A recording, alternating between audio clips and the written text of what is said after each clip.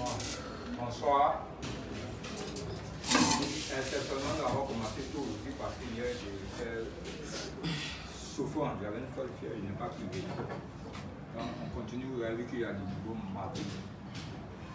ce matin est venu grâce à mon ami, puis je fais l'honneur de vous présenter. C'est M.